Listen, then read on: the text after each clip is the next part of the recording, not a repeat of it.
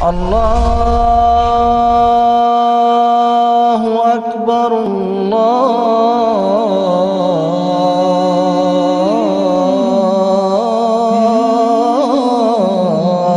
الله أكبر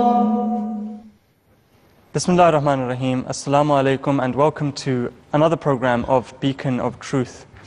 In the previous program, we discussed the challenges of the promised Messiah والسلام, which he made against all those people who, want, who wanted to prove their truth against the promised Messiahs.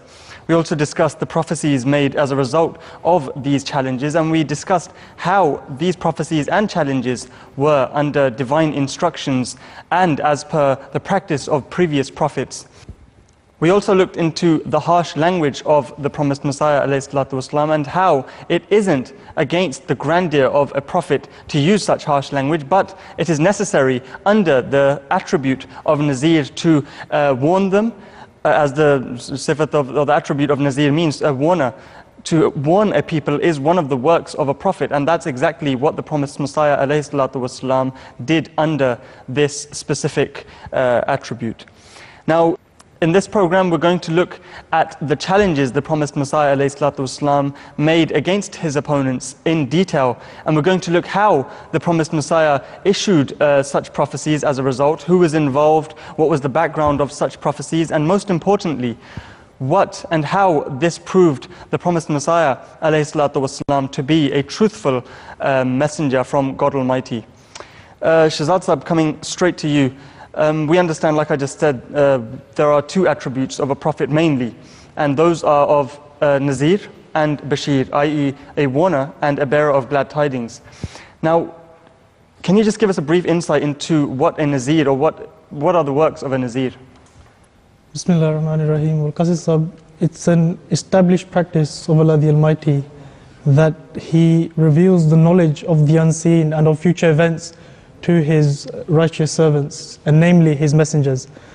Allah the Almighty in the Holy Quran states that فَلَا يُزْهِرُ عَلَى غَيْبِ أَحَدًا إِلَّا مَنِ ارْتَضَى مِنْ رَسُولٍ That He only reveals the knowledge or the secrets of the unseen to His chosen servants, namely His messengers.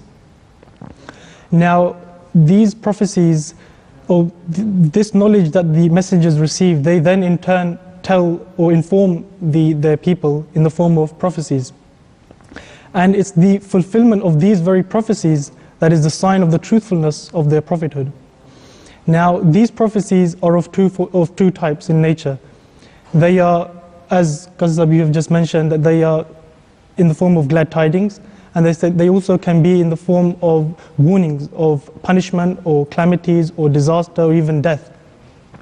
And this is directly in accordance with the verse of the Holy Quran, which states that وَمَا نُرْسِلُ الْمُرْسِلِينَ إِلَّا مُبَشِّرِينَ وَمُنْزِرِينَ That we do not send prophets but as bearers of glad tidings and as warners.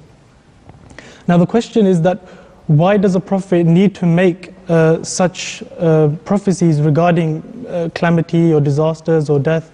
Well, the question, well, the answer to this is very simple, and that is that it has always been the case that whenever prophets of Allah the Almighty they claim uh, their prophethood and they announce that they have been appointed by Allah the Almighty, a storm of opposition arises, and they persecute the prophet and his community, and they oppose him and also his community. Now, therefore, to stop them, a warning is given in the form of, of a prophecy that if they do not take heed, then they will eventually be inflicted with punishment from Allah the Almighty.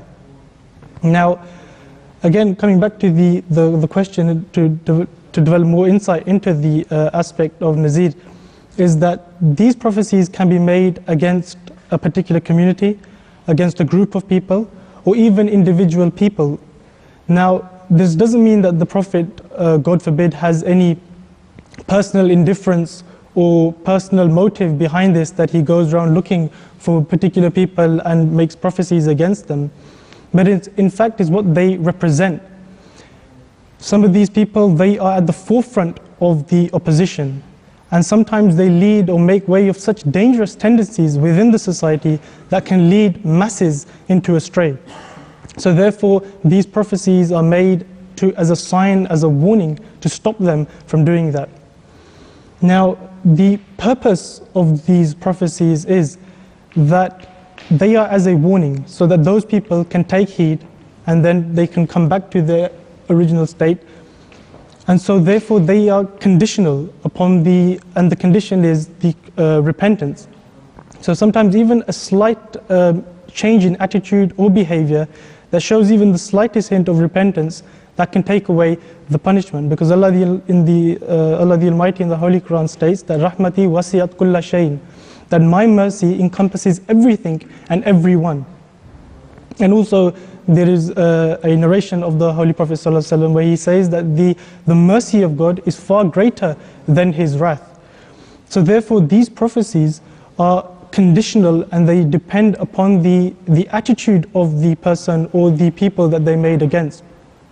So, if a prophecy has been made and the people repent and the punishment is taken away, that does not mean in any way, shape, or form that that prophecy has not been fulfilled. But in fact, them seeking repentance and then that punishment not being inflicted upon them is in fact a fulfillment of the prophecy as that was part of the condition.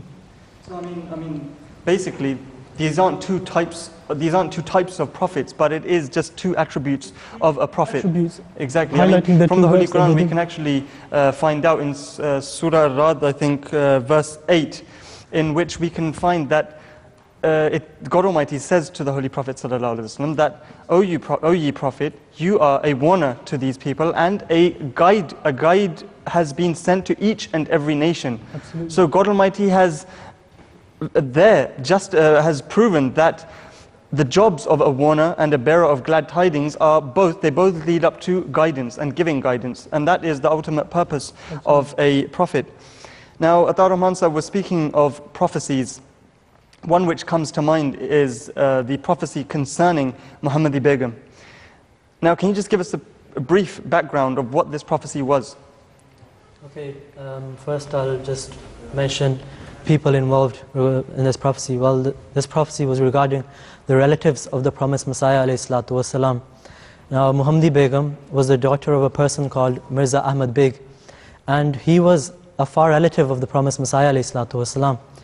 And these people, these relatives of the promised Messiah alayhi salam, they denied the existence of God. They uttered vile abuse against the character of the Holy Prophet Muhammad sallallahu and they dishonored the Holy Quran. Um, it is narrated that once a companion of the promised Messiah salam came to him and he was crying. The promised Messiah salam inquired. The reason for this was it that he had re- uh, received news of the death of someone.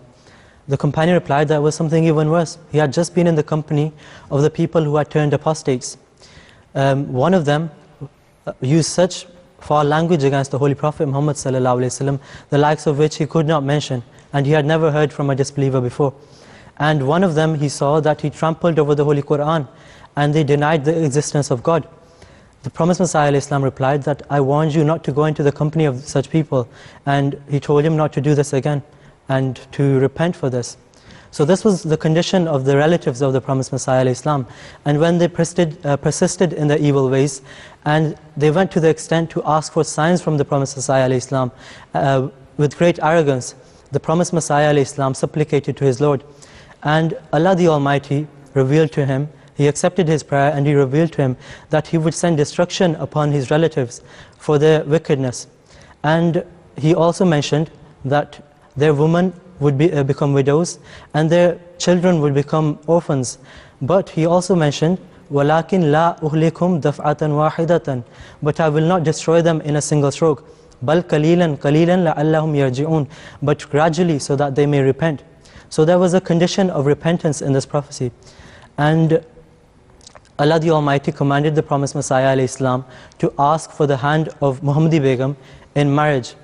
And uh, this would be in the, uh, a form of mercy of Allah the Almighty upon the relatives of Muhammadi Begum. And they, they could avert the destruction in this way. And this would be a form of mercy from Allah the Almighty. But it so happened that uh, Mirza Ahmad Beg, he married his, his daughter, Muhammadi Begum, to a person called Mirza Sultan Muhammad. And the promised Messiah Islam had prophesied that if he were to do this, if he were to marry Muhammadi Begum to someone else, then he would die within a period of three years, while the husband would die within a period of two and a half years. And when he married his daughter Mirza, um, to Mirza Sultan Muhammad, he died after six months, according to the prophecy. And as a result of this, all the relatives of uh, Muhammadi Begum, they were deeply affected. And they wrote letters of apology to the promised Messiah alayhi. And uh, even Mirza uh, uh, Sultan Muhammad, the husband of Muhammadi Begum, he repented. And as a result, he saved himself from destruction and death. And uh, because the condition was not fulfilled, so the marriage of uh, Muhammadi Begum to the promised Messiah alayhi that could also not take place. And as I mentioned, because this uh, prophecy was based upon uh, on the condition of repentance and the, the destruction could be averted through repentance. So when they repented, this, um, this uh, punishment was um, taken away. And uh, another proof of this is a, a vision which the Prophet Islam, had.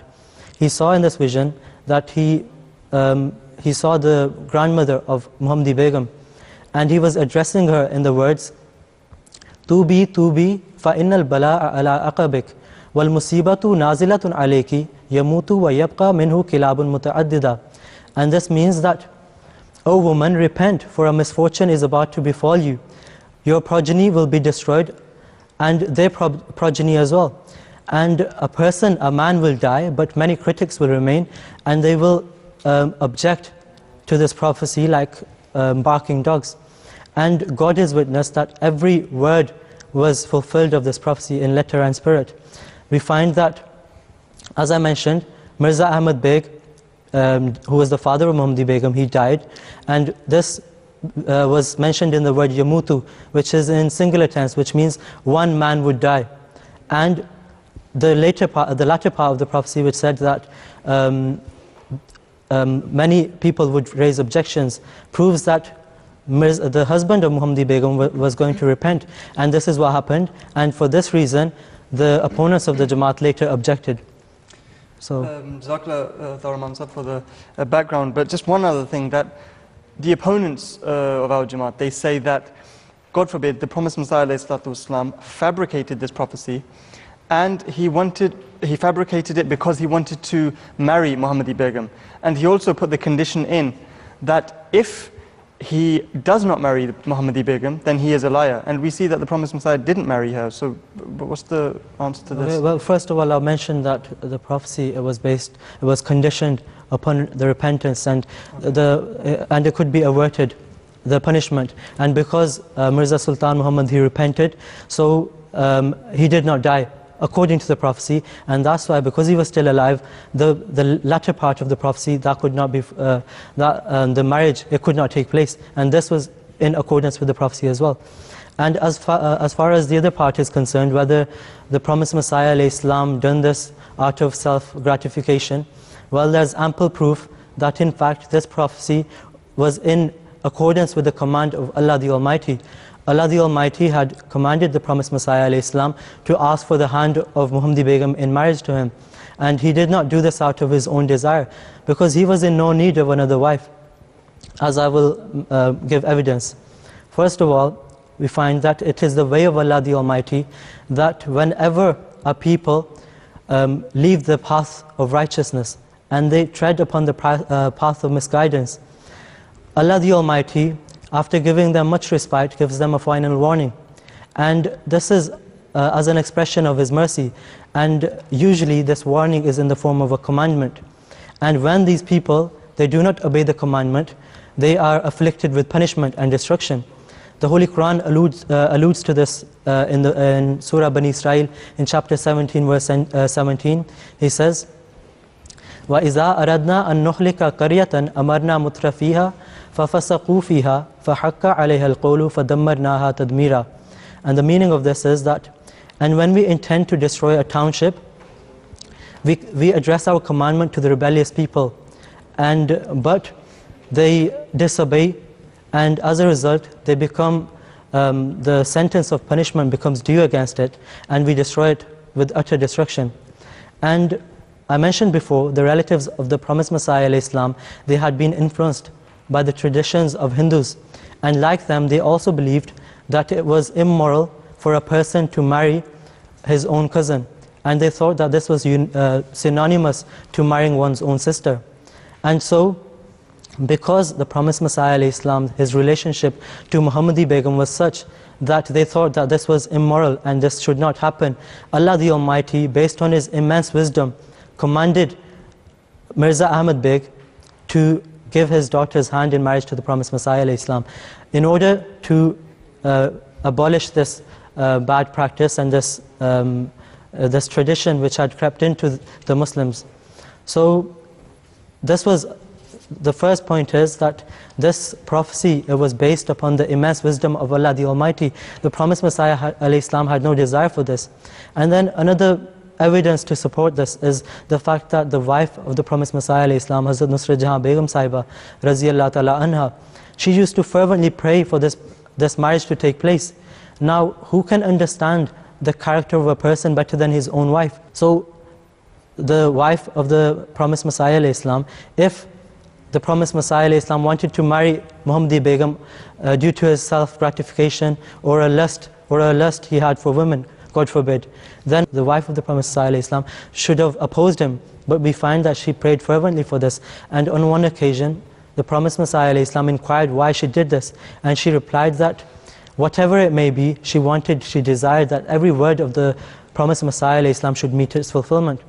And then another point is that um, we find that the opponents of the Jamaat make this objection.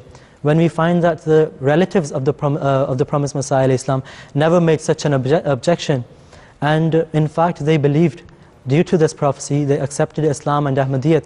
In fact, um, the son of uh, Muhammadi Begum, his three daughters, his wife, his grandson, and his um, uh, uh, son-in-law, all of them accepted Islam and Ahmadiyyat due to this prophecy of the promised Messiah Islam. So this, all of these points prove that this was a command of Allah the Almighty and the promised Messiah Islam never did this out of any personal motive. In fact, um, yeah, I mean, you're saying that they converted to Ahmadi. I mean, as a matter of fact, they're still Ahmadi to this day, and their interview, um, uh, Ahmadi of ours went to interview them, and their interview is present in our Jamaat's literature as well. So that's uh, quite interesting to know. Shazata, we were just discussing regarding Muhammadi Begum's prophecy, and in that prophecy, there was an element of repentance. Now, similarly, I want to talk of another prophecy here, and in this prophecy, we find that there was an element of repentance, and furthermore, God Almighty gave that individual respite. And we see that that individual was a Christian missionary. His name was Abdullah Atham. Now, Shazata, what happened to this person? If he was given respite, why did he still die? Well, because um, this prophecy concerning Abdullah Atham is, is a grand prophecy of the promised Messiah والسلام. And not only this, but it also shows the enormous efforts uh, of the promised Messiah والسلام, for the service of Islam and the defense of the noble character of the Holy Prophet ﷺ. Now in the previous programs we had uh, discussed the, the conditions at the time of the advent of the promised Messiah والسلام, and how that there was a huge influx of Christian societies and Christian missionaries and great effort was being put into converting the, uh, a large number of uh, people into Christianity, to the fold of Christianity. Now, at the roundabout this time in 1893, a particular Christian missionary by the name of Dr. Henry Martin Clark suggested that a debate should be held between uh, Muslims and Christians and so that a one final decision could be made and thus we could determine who is on the, on, on the, uh, the true path and who represents the true religion. Now, to represent the Christians, uh, Abdullah Atham, an early convert of, uh, of Christian, was chosen. And he was uh, an author of certain vile publications uh, and had, uh, God forbid, called the Holy Prophet ﷺ Dajjal in one of his books as well. Now, on the other hand, when the invitations were sent out to the, uh, the so-called Muslim scholars, not only did they fail to avail the opportunity to de defend the honor of the Holy Prophet uh, of Islam, they um, uh, went into petty questions. They were demanding petty questions such as who will pay for my accommodation, who will pay for my certain certain ex uh, expenses. On the other hand, we see that the promised Messiah والسلام, he not only accepted this invitation uh, quite happily, but he also he said that I would be more than happy to pay for all the, uh, the expenses for myself and for all my companions who come with me. Then, uh, before I go into the actual uh, prophecy, I just want to mention something on the great significance of this debate because most often than not, we actually undermine the what importance this debate actually had. Now, according to the reports of the Christian missionary uh, intelligence, so we find that this debate was being talked about in every town and every village. And, it, uh, and the words that he uses said that it sent a thrill through the, the heart of Islam uh, in India. And so many people had come to attend this, uh, this debate that hundreds had to be turned, turned away. So this wasn't just a debate between uh, two individuals or two personalities, but in fact, this was a debate between Islam and Christianity. And it was Islam that prevailed in this debate through the, the great efforts of the promised Messiah, wasalam. And even Dr. Henry Martin Clark, the friend of Abdullah Atham, uh, admitted this fact that, and you know, the person who actually organized this debate admitted to this fact that he did not do a very good job and he did not present the Christian ideologies in the way that he could have. Now, regardless of this, Abdul Atham continuously insisted that he had won the debate. So the Promised Messiah والسلام, on the final day of this debate, on the uh, 15th day, in the concluding, prayer, uh, uh, on the concluding paper he wrote that he had earnestly prayed to God that he may show a sign, as so we could decide that who was the who was representing the true religion. And he said that Allah the Almighty heard his prayers and told him that within 15 months from this date, Abdullah will be thrown into hell because he had abused the Holy Prophet ﷺ and called him Dajjal. Now, this is the actual prophecy regarding which a lot of criticism is leveled against, and they say that because Abdullah Atham survived those 15 months, and because he did not die within that time period of 15 months, hence the prophecy of the promised Messiah والسلام, was not fulfilled. Now, in the earlier part of this discussion, we discussed, and also Atawar Mansab also touched upon that issue as well, the condition of repentance that is attached with prophecies uh, concerning punishment or death or whatever it may be. Now, if we look at the attitude of Abdullah Atam, right from the very moment this prophecy was made by the promised Messiah والسلام, we see the signs and his attitude, we, we find repentance in them. Immediately, when the, the promised Messiah made this prophecy, we, see, we read that he uh, placed his hands towards his ears and he denied that he made such a remark about the Holy Prophet ﷺ. Then in those 15 months, that, which was the designated time period for that prophecy, we find that he lived in a constant uh, state of distress and fear. He would move from town to town. Uh, he would experience various hallucinations where he was seeing snakes and all, the, all sorts of creatures. And also, uh, he disengaged himself from all public affairs. Now, this allegation was also leveled at the time of the promised Messiah والسلام, as well. And he also said the very same thing. He said that the 15 months of that, that 15 month period, Abdullah Atham lived in a state of fear. And this was because of the sign that Allah the Almighty had showed and because of this prophecy.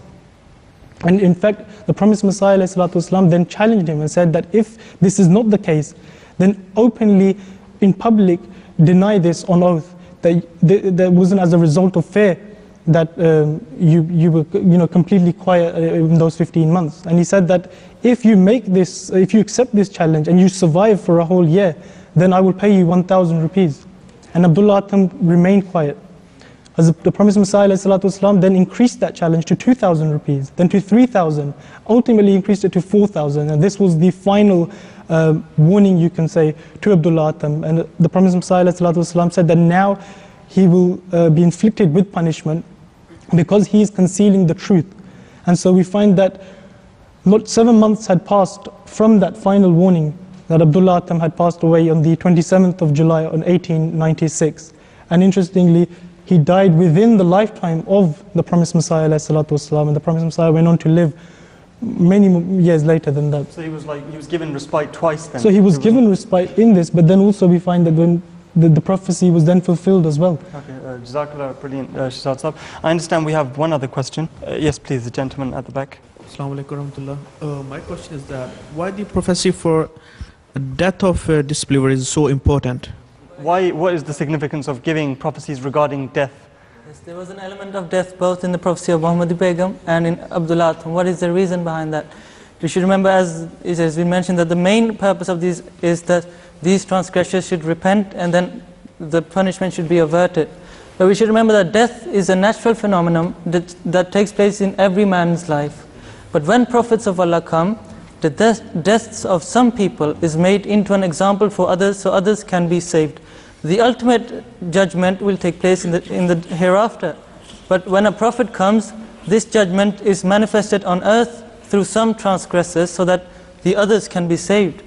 So there is an element of death for one individual who denies and keeps on persists in his transgression so that those who are behind him because these men are of, often leaders of their communities so that if he dies even if, if he dies with a law which is called the law of sharia the not the law of nature but through the words of a prophet so that when he dies others should take heed and be uh, saved Yeah, that's brilliant that. because I mean, when a person is being made a, an example, then people, the other people, the majority, can learn from that example. I mean, let's just take the example of a teacher. If he disciplines one child, uh, not physically, but if he disciplines him by making him stand in the corner or, you know, uh, in such a manner, then the other children will stay, you know, vigilant and alert and listen to the teacher in class. So there has to be an example set first. The teacher has to put down his uh, instructions first and say, this is what I'm going to do. And he has to make that practically, uh, he has to act that out practically. And then uh, the people uh, begin to listen and uh, pay heed to the Prophet. So I understand we have another question, please, uh, gentleman in the middle. Assalamualaikum. Uh, can you please um, throw a bit more light uh, on the warning issue to Lekh Ram by Promised Messiah alayhi salam? Uh, Kashif Sahib, if you could please shed some light into that. The prophecy about Lekh Ram is one of the most descriptive uh, prophecies made by the Promised Messiah alayhi salam, in the sense that if you study it carefully, it is not only a proof of the truth of the Promised Messiah alayhi salam, rather it is a great pr- proof of the existence of God, that somebody is informed by a death of a person in very clear details and that occurs in the same manner. Lekh Ram was the name of a, a a member of the Arya Samaj sect, which was a, a newly, new sect founded in, in India at that time. And he was born in, Firo, uh, in Sayyidpur, and in, the, in his youth, he served as a, uh, in, with the police, the local police, and later he became a leader of the Arya Samaj sect, and he also was the editor of a magazine called the Arya Gazette. Now, in this gazette and verbally as well, he had the, other than propagating his message and his ideologies, he attacked and opposed and abused not only Islam and the Holy Prophet ﷺ, but all prophets, because he considered everyone other than those born in India, those holy saints, to be false claimants. And when the Promised Messiah ﷺ wrote Barahin-e-Ahmadiyya, which is his main book, uh, most a great book of his, in which he refuted Hindu doctrines and proved the superiority of Islam above other religions. When he wrote this book, uh, Lekh Ram increased in his enmity towards Islam and tried to write a response. In his book, Promised Messiah Islam, in Barahin-e-Ahmadiyya, he also invited leaders to come to him to visit him in Qadian. Now, in this regard, Lekh Ram was one of the leaders who- who considered himself as a leader. Actually, nobody actually considered him to be such, but he came to Qadian in order to see a sign which was promised by the Messiah Islam. And when he arrived in Qadian, his, uh, he, he used to stay with the local Arya Samaj in, the, in this village. And it is said, the Promised Messiah wrote that he used to stand in our bazaar and in the streets abusing Islam and hurting Muslim sentiments openly. And, and many a time he, he used to come to the doorstep of the Promised Messiah and say openly that, please show me a sign if you are from God. And this was in a ridiculing manner. And he then left Qadian. The Messiah Islam said, I will, I, pray, I will pray to God, and inshallah, He will listen to my prayer, and I will show you a sign. One year later, in 1886, the Messiah Islam received some information from God or some revelations pertaining the end of certain leaders with, within other sects, and one of them was Lekh Ram.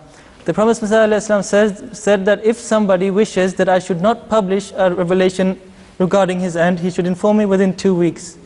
Lekh Ram responded to that and he said that I am not to be scared by this. You may publish whatsoever you like about me.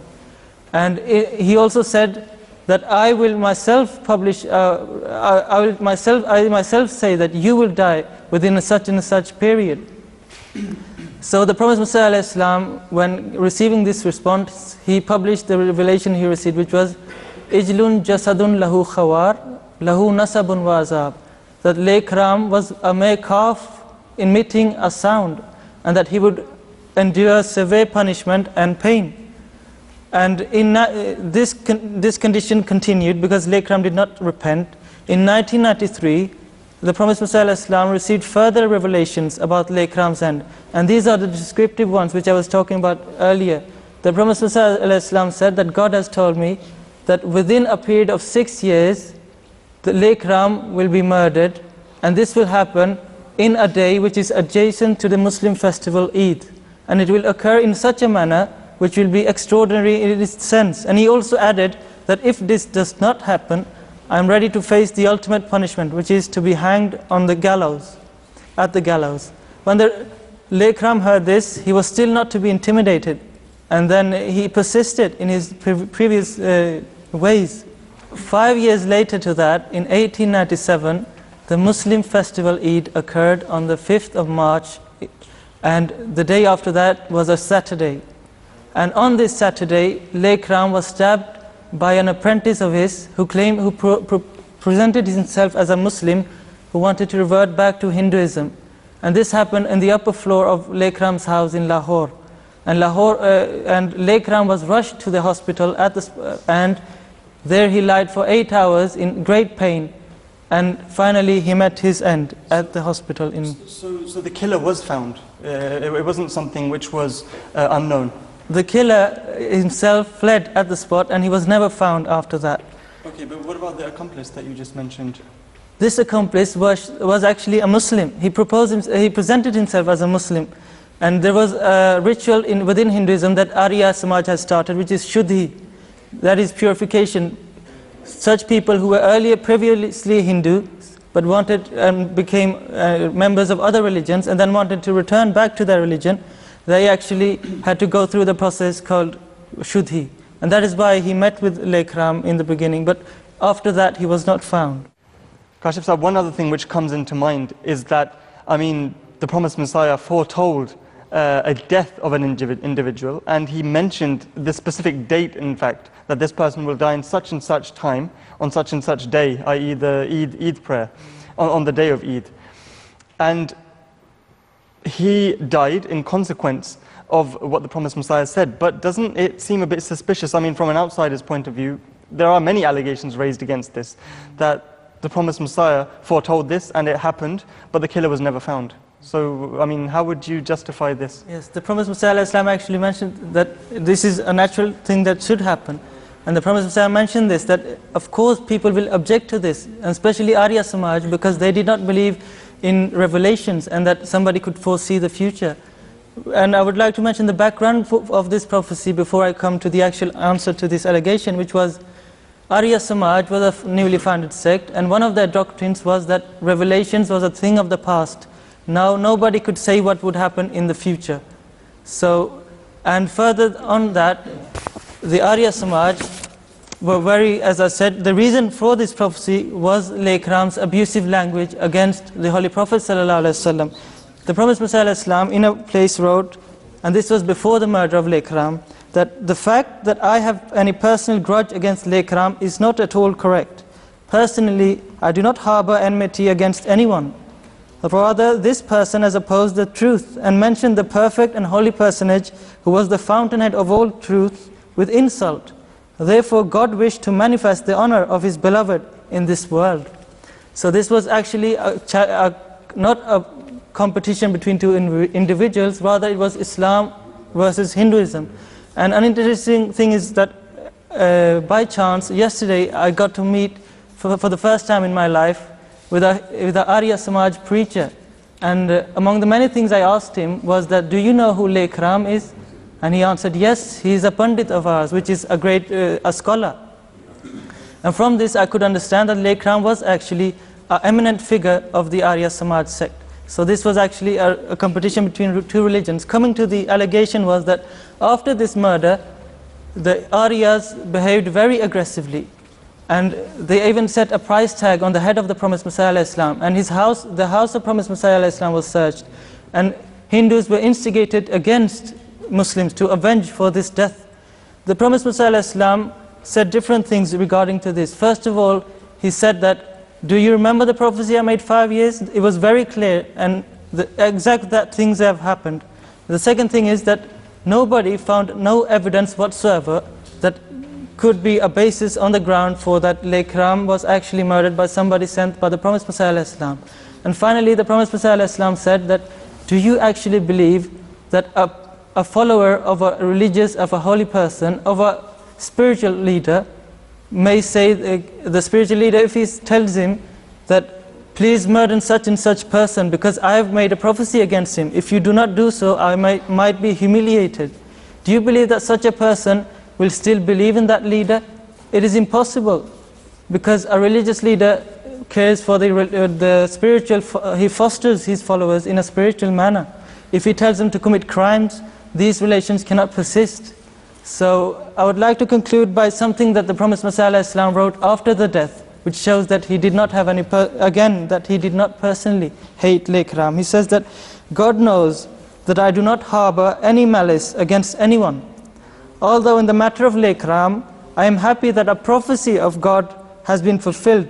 But on the other hand, I am grieved by the fact that he has died in the prime of his youth. If he had turned towards me, I would have prayed for him so that this affliction could have been averted. And this is from Hakikatul Wahi. So this was no personal uh, issue, rather it was a battle between two religions. And the reason for this was that the Holy Prophet of Islam, again, as we've seen in the earlier prophecies as well, only the promised Messiah Islam stood up among all Muslims and defended the honor of the, of the Holy Prophet Wasallam. Brilliant. I think, I think that's one thing which we should remember, especially um, I want to tell our viewers that whatever the promised Messiah, whichever prophecy regarding uh, death the promised Messiah made, it wasn't that out of wish that the promised Messiah wanted this person, such and such person, to pass away or die in, in a specific period. Because we see, I mean, in many instances, let's just take a step away from the opponents. Let's, let's just look at his own family. We see that Mirza Mubarak Ahmed, Hazrat Mirza Mubarak Ahmed, passed away at a very young age and the promised Messiah was receiving divine um, news regarding the, his son's death. And when it happened, the promised Messiah loved this child very much, and we can find a lot of literature regarding his love for this son. But we see that when he passed away, the promised Messiah expressed his anguish and his grief uh, which he had for the passing away of his son, but he also expressed the divine, uh, the, the, his gratitude for God Almighty speaking the truth to him and fulfilling yet another prophecy and uh, proving that the promised Messiah والسلام, is in fact a truthful person from Allah the Almighty. So brilliant, Jazakallah. And in fact, um, we've also understood that from these three prophecies, uh, it wasn't a battle between two specific individuals, but between the religion of the Holy Prophet Muhammad وسلم, and various other religions, and it wasn't out of his own um, um, personal grudge. So I understand we have uh, many questions from uh, the audience. Please, if you could uh, ask My a question. My question to the panel is about the reaction of the Arya community after the fulfillment of the prophecy of Lekh Ram. And what was the, did anybody actually accept the Ahmadiyyat after the uh, prophecy was fulfilled? Among Hindus, very few people converted to Islam, but there were some and they became great uh, uh, companions of the Prophet. If I can give an example of my great grandfather, Hazrat Munshi, uh, Munshi Abdur Rahim Saab Sharma. He was previously Kishan Lal and he accepted the Prophet Messiah Islam after the turn of the 20th uh, century, which is in uh, early 1900 uh, something, and he became an Ahmadi. Very few Hindus because Hindus were pressured by their, by their, by their families and community pressure, which made them near impossible for them to swap religion. But my great great grandfather, Alhamdulillah, he did, and uh, other great companions were also Hindus. But as a, as a community as a whole, few Hindus accepted Islam. I think Hazrat Bhai Abdur Rahman Sahib Qadiani he was, was a, very uh, well, well known companion of the Promised Messiah and he's written a lot of uh, literature in the Jamaat. He was, he was a Hindu as well who converted to Ahmadiyyat. Uh, Jazakallah for that, Kashif Sahib. Do we have any other questions from the audience? Yes, please. Um, yes, my question was about the life of the Promised Messiah, Islam. Um, did he make any um, uh, prophecies about his own life, which didn't came or didn't fulfill in the way that um, many um, enemies would allege on. Regarding his own life? his or- own life. Uh, I mean specifically about his, I think the his lifetime. Uh, I believe there was a prophecy uh, which many people allege on. I think mainly there is there is one uh, prophecy which he made in Al-Wasiyat, which is Ar-Rahilu thumma Rahilu wal mautu qarib, that uh, he, he prophesied regarding his own death and he was receiving divine news. But if, if you can... Another, uh, which was in from very beginning of his uh, early uh, period, which he said, Samanina Holan, that you will live around 80 years. I think you're referring to that one. Yes, and Holan means around 80 years. So the Messiah Islam passed away at the age of 73, which is around 80. Now, somebody could have passed away in 40, 50, 60. Even the pla- uh, plague broke out at that time, and many people perished. But the promised uh, Messiah al-Islam survived, and he came to the actual near the a year of 80, which was referred in the prophecy, as, as it were. Jazakumullah Kashif Sab, um, do we have any other questions from the audience? You see, um, some opponents say that Mr. Dowie did not die before the promised Messiah. How can this be proven wrong? Right, so here we've got another uh, prophecy regarding the promised Messiah, alayhi salatu wasalam, and that was a concerning a Mr. Alexander Dowie from America. So can you just answer the gentleman's question? It is sad again that Muslims make this allegation. Again, this was a competition not between two individuals, rather Islam against Christianity. Dowie did die in the time, lifetime of the promised Messiah alayhi salam in 1907. And uh, the alayhi salam had, and this claim of his was widely published in all over America. I think the promised Messiah in his book, Hakikatul Wahi, has mentioned many newspapers which actually, actually publicized this prophecy. And they were all eagerly awaiting for the judgment of God. And the judgment of God did happen. And if I can remember correctly, the promised Messiah Islam, one month prior to the death of Dowie, he said that God has informed me that within a short period, He will show me such a sign which will be for all of the world, the global community, everyone will witness to the truth of thereof. And within one month, the prophecy about Dowie was fulfilled. And uh, it was a sign of the truthfulness of Islam.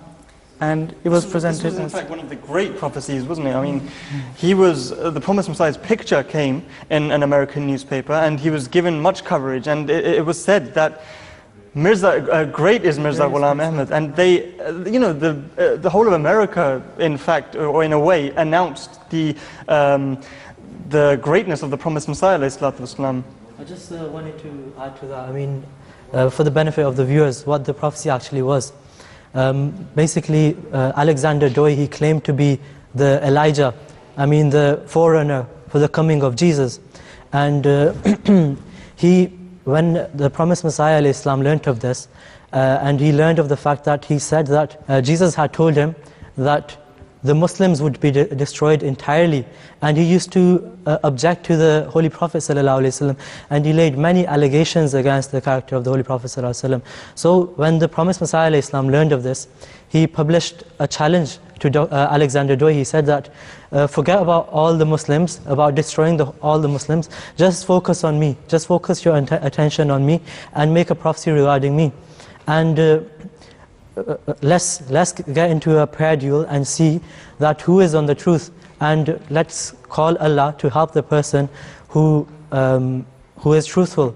And for the other person who is not truthful to be afflicted with punishment and to meet his death within the life of the uh, of uh, the other. And accordingly just like Kashif mentioned he died in 2000 sorry in 1907 according to the prophecy. And um, his end was um, I mean, it was really bad. I mean, uh, all his followers, they left him. He had built the Zion city, uh, and uh, he, they found out that he was, um, you know, the money that was coming in, he had been using it on himself. And so all his relatives, even his family members, deserted him in, his last days. Exactly. I mean, think uh, the whole of Zion City now. They don't even remember an Alexander Dowie. They don't Exactly. they don't recall ever hearing such a person. And I think this is where we should mention the grandeur of the promised Messiah, salatu that this individual. I mean, forget his claim of being a prophet. This person stood against the Hindus, the Christians, many Christians, many uh, um, representatives of other religions, and even, I mean, if this person had been, God forbid,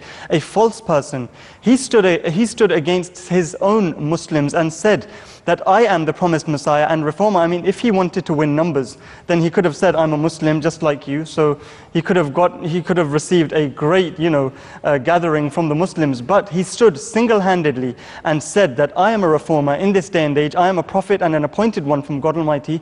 And he faced each and every religion, his own Islam But those Muslims who didn't want to accept the Messiah of the time, I think that's something which is, you know, amazing of the promised Messiah. Shazad sir? also just highlights the the the the, the that he was truly the reformer of the age, and not just of the reformer of the age, but the reformer for the whole world. He here, the Promised Messiah والسلام, is sitting in a village in Qadian, claiming that he is the Messiah and he is the reformer for the whole world. And wherever a voice has come from, wherever someone has said anything or posed any allegation from wherever around the world, not just in Qadian or in India, where there were different religions and the, you know, all the religions were present there, the, the, as Kashif Sahaba said, the Arya, the Christians, the Muslims as well. But all around the world, wherever such a, you know, um, a voice or such a, a, a, news was heard of anything against Islam, or if someone was claiming to be God or whatever, he voiced his uh, concern and um, you know, made, made sure that Islam triumphed and uh, voiced his uh, uh opinion. And I think, I mean, the more these incidents are narrated in our Jamaat, I mean, the people from the outside of uh, the Ahmadiyya Muslim community who are Muslims or various other um, uh, members of other religions, they assert allegations against these prophecies. But the more we remember these prophecies, is the more the promised Messiah والسلام, is given uh, glory and is given that rank uh, in the prophets which he deserves. And the more these people, I mean, the prophecies concerning Lekh Ram and Abdullah Atham, the more these people are left behind in the dust and the promised Messiah والسلام, is put, uh, um, you know, is given that status which uh, he deserves. So uh, do we have, yes please? Um, Assalamu alaikum. I will see that all these prophecies were very clear and uh, I mean they all were fulfilled, Alhamdulillah. But I just wanted to know that why is this, what's the outcome of these prophecies? I mean, the, the, the death of all these people, that there's not a large number of uh, convertees who converted to Ahmadiyya at that time. I mean, if uh, there's any reason or for that, I mean, it's very clear that everyone knows that uh, after this prophecy, and they were even very advertised in the people. So just I want to know why that a lot of people did not convert to Ahmadiyyat. Is this is this in the time of the promised Messiah? The, yeah, at, at, the time at of the promised time, Messiah. Why at, they at that didn't same convert time, yeah, when the prophecy was fulfilled. in large numbers. Yeah. Um, uh, yes, Kasha Yes, I would like to give certain examples from the Holy Quran itself. You know, there are many prophets mentioned in the Holy Quran, and they warned their prophet, uh, their people to believe, and they even showed signs, clear signs, but few people believe. Some prophets used to refer to those coming before them. For example, they said that look at the people of Noah. Didn't the flood deluge come and wipe them off? But still they did not believe. And in the time of uh, Prophet Jonah Islam, where they repented and they were saved from the uh, punishment, still they did not believe at the hand of Hazrat Jonah Islam. It says, but still they were saved. And there were more than 100,000 people in this city, as it says in the Holy Quran. So believing is not, unfortunately, qalilan ma yu'minun. There are very few people who believe. Rather, these signs have another purpose as well. Not only as a warning for those who do not believe in them, but it is a glad tiding. Those we were talking of Bashir and Nazir. For some people, there are warnings, but for others who see these signs and who believe in the prophets, for them it is a source of increasing their own belief in that prophet. So that is another reason why these prophecies are made still. Even though few people believe, it serves not, an example, not only as an example for the people at that time, but for the future time to come. That is why the Holy Quran has safeguarded this history of prophets. I think um, um, another thing, like what you just said, there is a couplet or just one part of the couplet of the promised Messiah that saf dil ko kasrat ijaz ki hajat nahi. That a person who has a pure heart doesn't require many signs from God Almighty. He he who wants to accept, accepts. And we see in the time of Moses especially, when he you know, gave those nine signs, when he put the stick down and made it into, you know, a, when a snake suddenly appeared before them, how many accepted? We know of a few um, of those magicians who accepted at that time and prostrated before their Lord and said that we accept, but no one else apart from that gathering uh, accepted Moses' um, truthfulness. Um, I understand we've got many questions, but unfortunately that's all we do have time for.